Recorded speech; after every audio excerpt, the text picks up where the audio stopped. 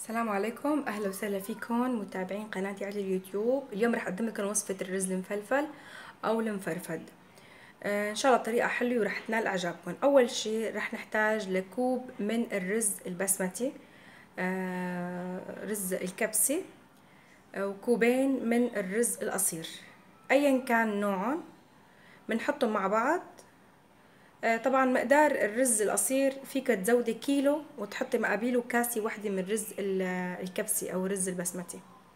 أيا كان نوعه رح نغمرهم بمي دافية لا باردة ولا ساخنة دافية لمدة ساعة كاملة لحتى ياخدوا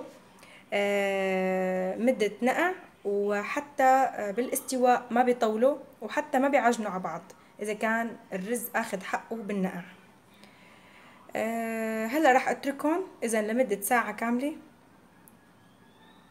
وبعدين بغسلهم وبصفيهم على جنب. الخطوة الثانية راح نحط بوعاء على النار معلقة طعام من السمنة سمنة حيوانية. أه راح خليها تسخن شوي. وأسباب نجاح الرز المفرفد أو المفلفل لازم يكون الجدر كبير اللي عم نطبخ فيه. طمه يكون عريض.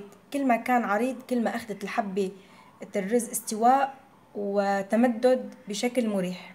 راح نزل عليهم كوب من الشعرية ناعمة أو خشنة حسب انتو شو بتحبوا.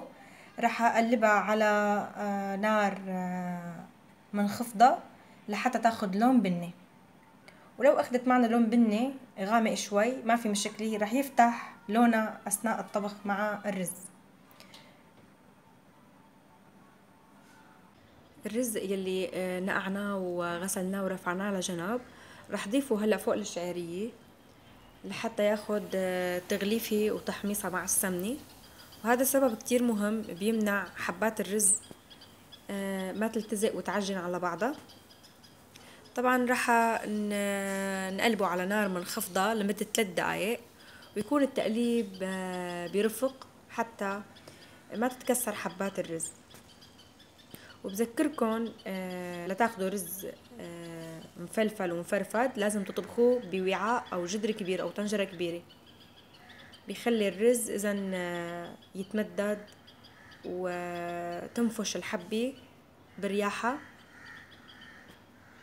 وما تعجن. هلأ رح نضيف الملح حسب الرغبة. بهذا الشكل.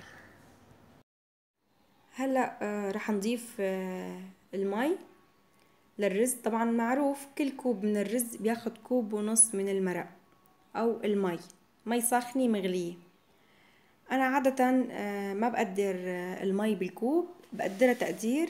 يعني بعمل ارتفاع نص إصبع صغيرة فوق مقدار الرز اللي حاطته وهيك بيطلع دائما معي تمام.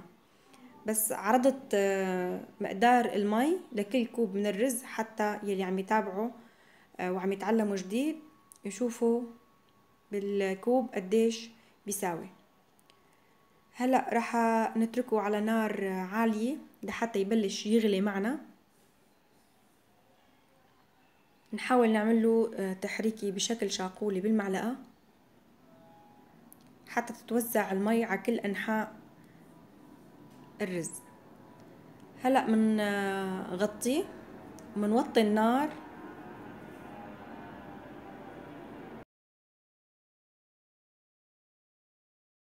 النار خلوها هادية جدا يعني شمعة على مهله ياخد استواء وتنشف المي. وهيك ما بيلزق معكم وبتتفرفد الحبات. هلا بعد مرور ربع ساعة على طبخ الرز. رفعت الوعاء وراح أعمل له فحص بالمعلقة. شوفوا كيف المعلقة وقفت معي. دليل إنه المي نشفت. وكمان أخذ استواء. رح شوف الأطراف كمان قدامكم.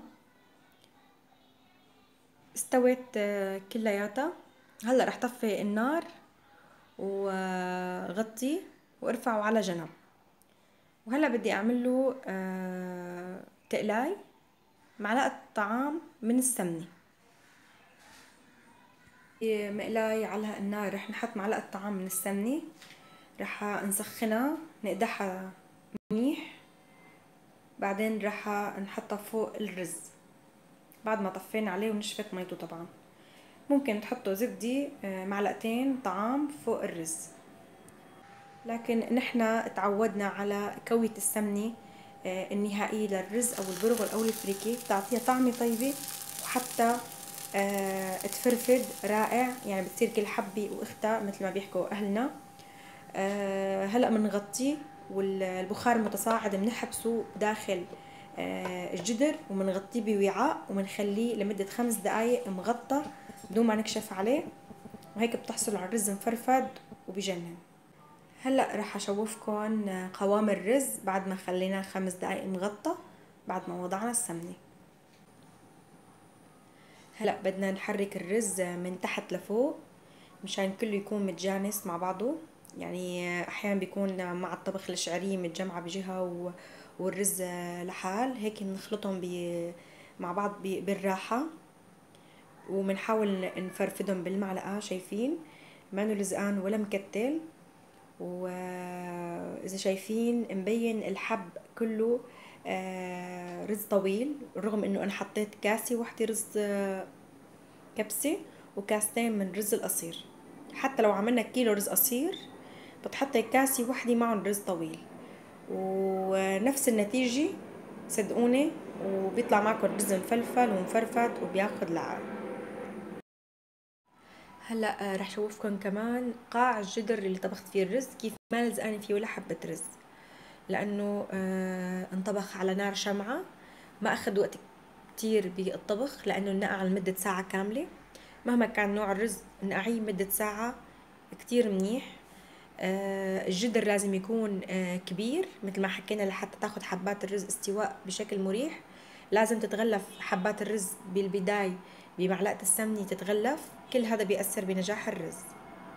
كانت وصفتي لكم اليوم الرز المفلفل بالشعرية. بتمنى يكون عجبكم واستفدتوا من الملاحظات البسيطة والمهمة لنجاح الرز. وهلأ إذا عجبكم الفيديو ما تنسوا تعملوا له مشاركة ولايك وتعملوا اشتراك بقناتي وإن شاء الله بشوفكم بوصفة جديدة. السلام عليكم.